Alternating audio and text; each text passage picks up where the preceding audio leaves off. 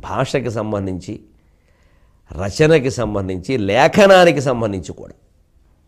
అసలు ఆ కాలం వారి ప్రజ్ఞకి సంబంధించి. ఆ కాలంలో పాఠాలు చెప్పేటప్పుడు దేని మీద శ్రద్ధ పెట్టారు? ఇవాళ మనం ఎక్కడ దెబ్బతింటున్నాం? ఇంత పొడుగు వచనం ఉందండి. ఇది సుమారుగా తిక్కన గారి భారతంలో అచ్చు వేసిన పుస్తకాల్లో ఓ పదిహేను ఇరవై పంక్తులు ఉంటుంది. ఎక్కడ ఒక చుక్క కానీ ఒక కామా కానీ సెమికోలన్ కానీ ఏదో ఈ కొటేషన్స్ కానీ ఏం లేవండి. మీరు మొత్తం చూసుకోండి. ఏమైనా ఆధునికంగా అచ్చు వేసిన వాళ్ళు మన సౌకర్యం కోసం ఏమైనా కావాలని పెడితే పెట్టాలి కానీ అందులో ఏం లేవు. మరి లేకుండా ఎలా చదివేవారు దీన్ని? ఇవాళ పంక్చువేషన్ మార్క్స్ అంటున్నాం. దానికి కొన్ని మార్కులు పెట్టాం పదో తరగతి పరీక్షల్లో.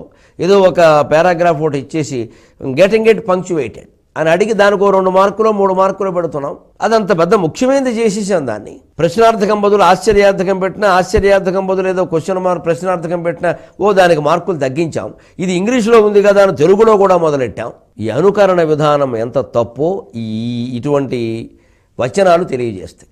ఇంకా మను చరిత్రలో వశు చరిత్రలో భాగవతంలో అయితే ఇక పుటలకి పుటలు అలా సాగుతూనే ఉంటాయి. రెండు మూడు వందల పంక్తులు ఉండే వచనాలు కూడా ఉన్నాయి.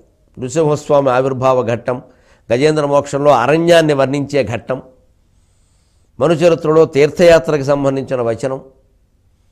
ఎక్కడ ఒక చుక్క ఒక కామ ఒక సెమికోలన్ ఒక కొటేషన్ లాంటిది ఇవన్నీ ఇంగ్లీష్ మాటలు మీరు గమనించండి.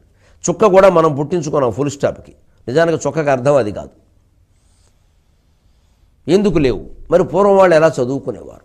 అర్థాన్ని బట్టి ఆపడం అర్థాన్ని బట్టి ప్రశ్నిస్తున్నట్టుగా మాట్లాడిన వాచికాభినయం అంట. ఏమైంది? చాలు. ఏమైంది? ప్రశ్న గుర్తు అనక్కర్లేదు. అంటే చాలు. హా ఆశ్చర్యార్థకం అనక్కర్లేదు. అంటే ఆశ్చర్యం గుర్తుపెడితే ఆశ్చర్యపోతామా? ప్రశ్న గుర్తుపెడితేనే ప్రశ్నిస్తామా? ఇవాళ విద్యార్థుల్లో గమనించండి.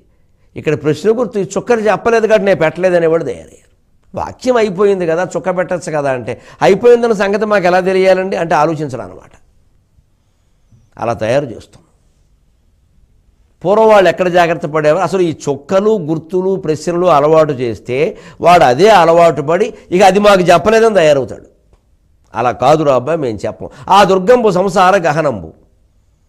వాడు మృగంబులు తెక్కలి కారు ఉరులు రోగంబులు. సంసార గహనంబు దగ్గర ఆపు చాలు చుక్కబెట్ట ముఖ్యం కదా ఆపు. ఆ దుర్గంబు సంసార గుహనంబు వారు మృగంబులు అని ఆపుతారా? సంసార గహనంబు తర్వాత వారు మృగాలు ఎలా వస్తుంది? ఆ దుర్గంబు సంసార గహనంబు. వారు మృగంబులు తెక్కరికారు ఉరులు రోగంబులు. కామిని జర.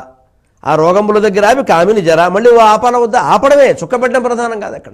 చుక్కబెడితే ఆపాలి చుక్కబెడితే ఆపాలని చెప్పకూడదండి. ఆపవలసిన చోట చుక్కబెట్టాలి ఆపవలసిన చోట చుక్కబెట్టాలి చెప్పవలసిన విధానం అది. మీరు ఆపాలంటే చుక్క పెట్టాలి అంటే ఎక్కడ ఆపాలి అని ఆలోచిస్తాడు విద్యార్థి. చుక్క పెట్టినప్పుడు ఆపాలంటే ఏం చేస్తాడు? ఎక్కడ చుక్క ఉంటే ఆ ఆపుదం లేతే వెళ్ళిపోతాం. కామా ఉంటే కొంచెం ఆగాలి అనకూడదు. కొంచెం ఆగాల్సిన చోట కామా పెట్టాలి. చెప్పే విధానం అది. మనం అట్ని చెడు చెబుతున్నాం మనం. నీకెంత తెలివితేటలు ఉన్నాయో పరీక్షించడానికి పరీక్షలు అంతే. అందుకని పరీక్షలు ప్రతివాడిని ఉత్తీర్ణుని చేయడానికి కాదు. ఈ మాట చెబితే ఓ నా తెలివితేటలు నేను తెలుసుకోవడానికి ఈ పరీక్ష ఇందులో నేను కంగారు పడేది ఏం లేదు. తెలివితేటలు తగ్గితే మళ్ళీ మళ్ళీ మళ్ళీ తెచ్చుకుంటాను మళ్ళీ సంపాదించుకుంటాను మళ్ళీ కష్టపడతాను. అలా కాకుండా ఈ పరీక్ష అయితే నువ్వు పై క్లాస్కి వెడతావు అనగానే పై క్లాస్కి ఎలా వెళ్ళాలి పై క్లాస్కి ఎలా వెళ్ళాలి? వీడికి రాకపోయినా సరే వెడతాడు పై క్లాస్కి. ఏదో ఇంట్లో నీళ్ళ గదికో మరుగుదొడ్డుకో వెళ్ళిట్టే పెడతాడు పై క్లాస్కి కూడా. అంతేగా నా తెలివితేటలకి ఇది పరీక్ష. ఈ పరీక్షలో నాకు అరవై మార్కులు వచ్చాయి. అంటే నాకు ఇంకా నలభై శాతం నేను నేర్చుకోవలసి ఉంది అని విద్యార్థుడు తప్పకుండా నేర్చుకుంటాడు. మన విధానంలో సాంకేతికత పెంచేసాము సారం లేకుండా పోయింది. అదే నిర్విరామ చిహ్నమైనటువంటి చిహ్నితమైనటువంటి వచనం ద్వారా ప్రాచీన ఉపాధ్యాయులు ఇటువంటి వచనాలు చదివించి వాళ్ళు అర్థవంతంగా చదివేవారు. పిల్లల చేసి చదివించేవారు. అప్పుడు వాడికి మాట్లాడేటప్పుడు కూడా ఎక్కడ ప్రశ్న గుర్తుపెట్టినట్టుగా మొహం పెట్టాలో ఎక్కడ ఆశ్చర్యపోయినట్టుగా మొహం పెట్టాలో ఆ భావాన్ని బట్టి పెట్టేవాడు గుర్తును బట్టి కాదుగా. అది ఈ అలవాటు చేయడంలో ఉండేటువంటి పద్ధతి ఉంది. అలవాటే ఒక మహామాయ నిజం చెప్పాలంటే. ఆ అలవాటు జాగ్రత్తగా చేస్తే ఆ మాయ నుంచి బయటపడదు.